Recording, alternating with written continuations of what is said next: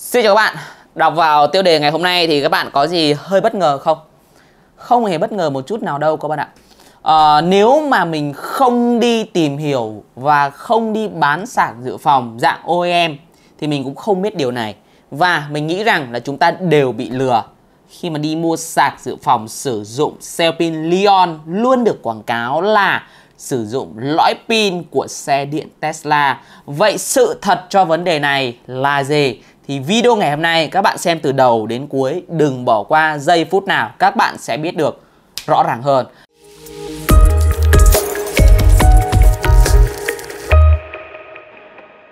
Nếu bạn nào mà đang muốn mua smartphone ngon bổ rẻ, đừng quên ghé qua Di động Việt. Link cụ thể về chương trình khuyến mãi giảm giá bán hàng như thế nào thì mình sẽ để phần bình luận cũng như là phần mô tả của video hôm nay. Chúng ta cùng quay trở lại với cái tiêu đề. Các bạn thấy rằng là hiện tại thì ở trên bàn của mình đang là hai mẫu sạc dự phòng mà bên mình đang bán.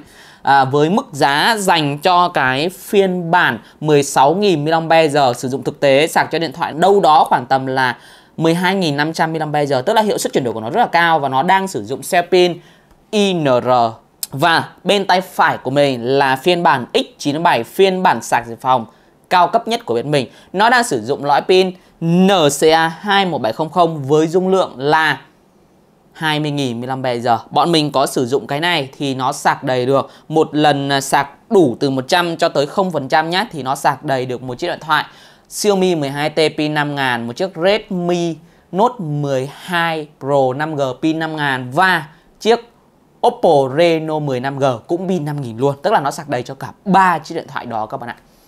Và các bạn có thể thấy rằng là mình có đọc qua cái dòng chữ NCA 21700 đúng không ạ?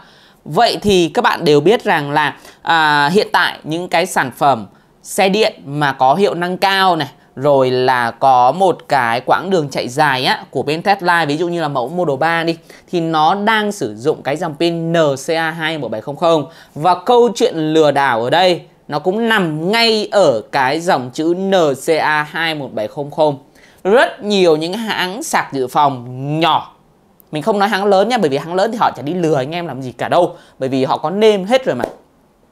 Thì họ luôn lấy cái câu chuyện là à cái sạc dự phòng của tôi đang sử dụng chung lõi pin với xe điện Tesla. Nhưng câu chuyện nó không phải đến như vậy đâu các bạn. Các bạn cũng biết, nếu các bạn nào mà đi tìm hiểu về xe điện á, thì anh em đều biết là dòng NCA 2700 á, của Tesla, ví dụ như dòng Model 3 đi, thì do Panasonic sản xuất và các bạn nghĩ rằng là một cái thương hiệu nhỏ họ bán giá bình dân nhưng mà có thể mua và sử dụng được cell pin của Panasonic chứ? Nghe là chém gió rồi các bạn ạ. Thực sự mà nói là nghe là chém gió luôn rồi. Cái lý do mà à, các hãng này quảng cáo á, chỉ đơn giản duy nhất một thứ thôi. Đó chính là cell pin do Panasonic sản xuất cho Tesla có tiêu đề, có tên là NCA21700. NCA tức là nguyên tố học để cấu thành nên cái lõi pin Lion 21700 đó bao gồm niken, coban và axit nhôm, aluminum. Thì đơn giản thôi là nó dùng chung ấy, kiểu như là nó đều dùng chung tất cả các nguyên tố đó để cấu thành nên cái dòng pin 21700 chứ nó không phải là sử dụng lõi pin của xe điện Tesla nha các bạn cái câu mà dùng chung lõi pin với xe điện Tesla á, mình thấy rằng nó chưa đúng cho lắm mà là giống với cell pin của xe điện Tesla. Ví dụ như cái dòng này á thì ví dụ như các bạn hỏi là à NCA 2700 thì mình cũng nói rồi nó dùng giống kiểu như là nguyên tố học để cấu thành nên cái dòng 2700 á là giống với lõi pin của xe điện Tesla. Chứ mình không đi nói rằng nó dùng chung nha.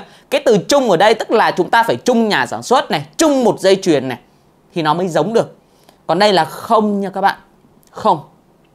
Và các bạn có thể nhìn vào cái bức ảnh này. Mình tiện đây mình không có cầm bất kỳ một cái loại pin nào nhưng mà mình sẽ nói bên uh, editor sẽ chèn luôn cho anh em. Các bạn có thể thấy nhá đây là loại pin mà cái mẫu X97 và mẫu 16.000 mAh của bên mình đang sử dụng.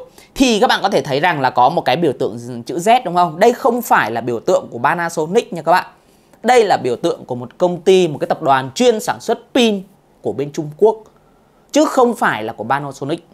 Cái đó là mình khẳng định luôn. Lý do tại sao mình biết là bởi vì để cấu thành nên những cái sạc dự phòng như thế này thì bọn mình OEM à, bọn mình cũng phải liên hệ với những cái công ty mà cung cấp pin và sau đó liên hệ với một bên nhà máy đó và lấy pin của bên nhà máy cung cấp pin á để chuyển sang cho bên lắp ráp bên à, gia công thì mình mới biết được cái vấn đề này và mình có xem rất nhiều những cái video á, thì mình thấy rằng một số reviewer đang lừa anh em bảo rằng là nó sử dụng chung chung lõi pin. Chung ở đây nó phải cùng nhà máy nó phải cùng cái loại y chang như vậy và cùng nhà sản xuất cơ. Nhưng cái này là không phải nha các bạn. Nhé mình thì luôn quảng cáo một cách rõ ràng nhất có thể cho các bạn để tránh cái trường hợp hiểu lầm. Và các bạn biết không? À, cái việc mà anh em mua hàng ở trên ờ, tiktok á, hoặc là mua hàng trên shopee á, thì mình thấy rằng có một cái lợi thế là các bạn có thể là đánh giá một cách công khai cái thằng nào mà quảng cáo lố bịch lừa đảo anh em á, anh em cứ cho một sao. Mình không bao giờ mình muốn quảng cáo lố bịch cả. Ví dụ như cái dòng này của của bọn mình cũng vậy thôi. NCA 2700 nó dùng cùng loại. Chứ mình không nói nó dùng chung nha các bạn. Các bạn lưu ý giúp mình về cái vấn đề này. Và bây giờ các bạn thử đi xem coi thử là cái đứa nào, cái khứa nào á, mà suốt ngày nó cứ đi quảng cáo là chung loại pin thì không nên nghe nó chỉ là cùng loại thôi, cùng NCA 21700 chứ không phải là loại pin đó do Panasonic sản xuất. Mình nói thật các bạn luôn, mấy cái brand lớn như là Panasonic mà sản xuất ra một cái một cái cell pin của nó chỉ cần hai cell thôi là chắc là bằng giá bán lẻ của của của hãng luôn rồi, của nhà sản xuất mà bán lại cho chúng ta về cái sạc dự phòng rồi. Cho nên là nói thật các bạn luôn là không có đâu, ha. Những hãng nhỏ thường họ hay quảng cáo, có một cái vấn đề nha, mình thấy rằng rất nhiều hãng nhỏ họ hay quảng cáo một cách hơi lố bịch đâm ra là làm cho người dùng khi tin rồi. Khi đã tin rồi nhưng mà sau khi mà sự thật vỡ lở ra thì mới cảm thấy thất vọng. Thì bọn mình không chơi cái trò như vậy. À, ví dụ như bọn mình đang bán cái cục kim loại này đi hiệu suất chuyển đổi của nó rất là cao đúng không? Thiết kế đẹp. Mà mình bán với nó với giá khoảng à, 440 nghìn.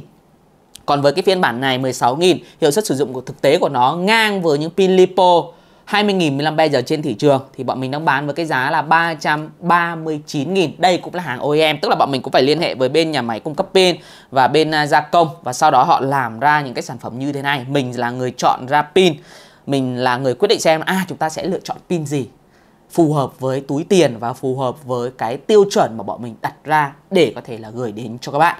Ha à, với dòng này á thì là nó có tên mã là C16 còn với dòng mà kim loại này thì nó sẽ có mã là X97 link mua hàng thì mình cũng sẽ để trong phần bình luận cũng như là phần mô tả của video hôm nay. Anh em nào có nhu cầu và muốn ủng hộ bọn mình thì có thể click vào đường link ở phía dưới nhé còn bây giờ thì bye bye.